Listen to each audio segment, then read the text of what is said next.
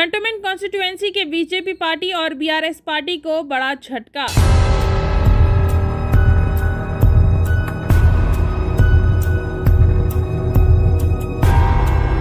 जी हाँ, आने वाले दिनों में बीआरएस और बीजेपी पार्टी के सीनियर लीडर्स जल्द ही ज्वाइन होने वाले हैं कांग्रेस पार्टी में।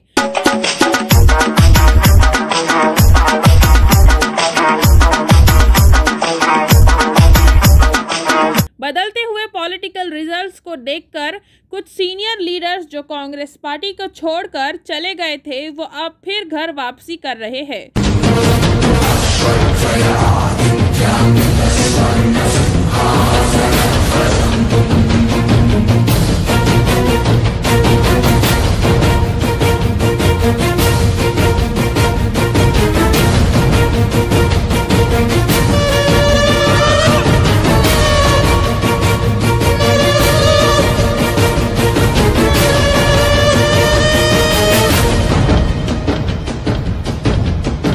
देखना यह है कि आने वाले दिनों में क्या फिर कांग्रेस पार्टी अपना झंडा कंटोनमेंट कॉन्स्टिट्युएंसी में लहराती नज़र आएगी?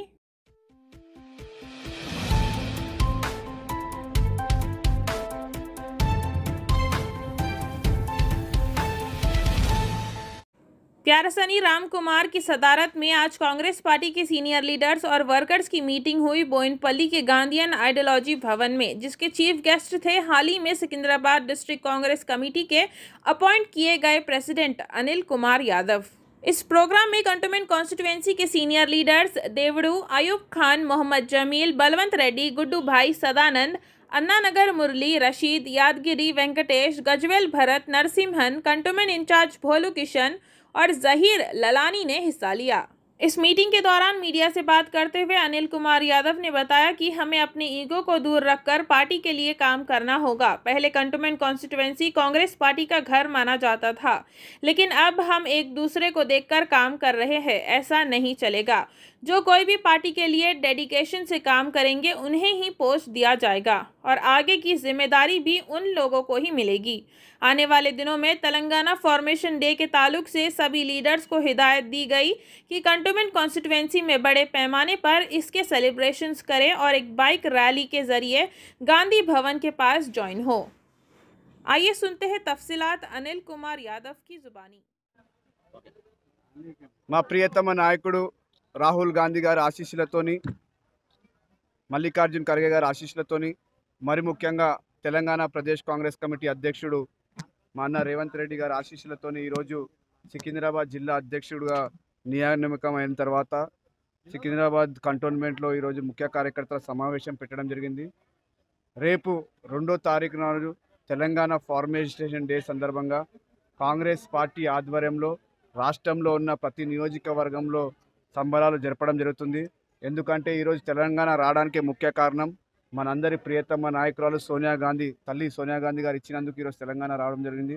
వచ్చిన తెలంగాణలో ఈరోజు మళ్ళీ తిరిగి కాంగ్రెస్ పార్టీ జెండా ఎగరేయడానికి కాంగ్రెస్ పార్టీ కార్యకర్తలందరూ కూడా కష్టపడి పనిచేయాలని కూడా వాళ్ళందరితో కూడా డిస్కస్ చేయడం జరిగింది. రేపు రెండో తారీఖు నాడు కాంగ్రెస్ పార్టీ పెద్ద ఎత్తున కూడా గాంధీ భవన్లో ఉదయం పదకొండు గంటలకు పెద్ద ఎత్తున కూడా సంబరాలు జరపడం జరుగుతుంది.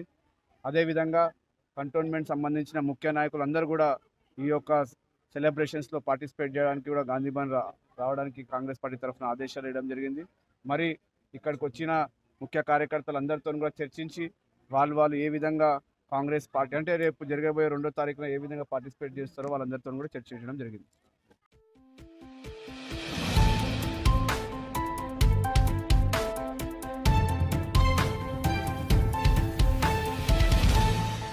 आज मलकाजगिरी पार्लियामेंट्री और कंटोनमेंट कॉन्स्टिट्यूएंसी के इंचार्ज मरी राजशेखर रेड्डी ने मोंडा डिवीज़न के इलाके अंबेडकर नगर और जयप्रकाश नगर का दौरा किया और वहाँ की आवाम से मुलाकात करते हुए उनकी परेशानियों को सुना, जहाँ आवाम ने उन्हें बताया कि ड्रेनेज लाइन और नाले के पानी की वजह से उन्हें बहुत परेशानी झेलनी पड़ रही है।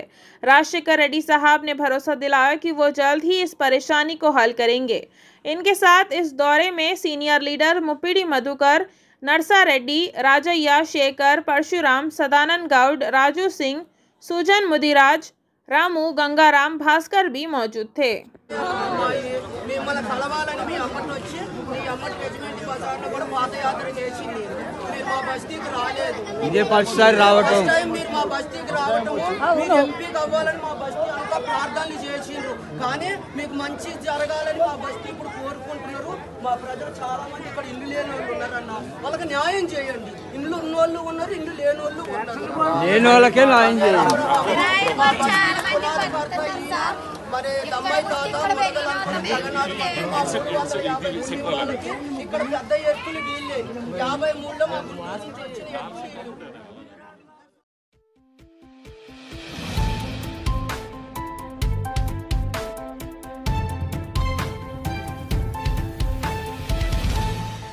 आज डेप्यूटी स्पीकर पद्माराव ने सिकंदराबाद लालापेट के इलाके साईनगर में चल रहे डबल बेडरूम के काम का अचानक ही इंस्पेक्शन किया और वहाँ चल रहे काम की देरी की वजह से कॉन्ट्रैक्टर से बात करते हुए हिदायत दी कि इस काम को जल्द ही मुकम्मल करें। इनके साथ इस इंस्पेक्शन के दौरान हाउसिंग सेल के ऑफिसर्स, वहाँ के मुकामी और कार्यकर्ता भी मौजूद थे।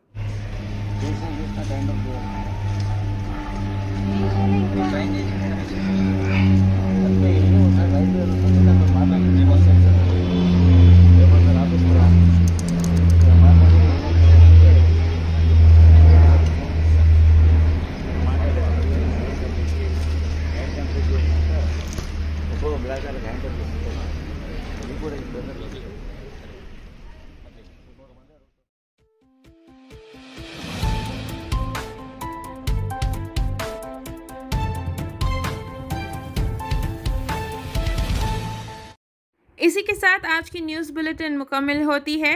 ट्विन सिटीज़ की और खबरों और जानकारियों के लिए एम आर न्यूज़ चैनल को लाइक शेयर और सब्सक्राइब करिए।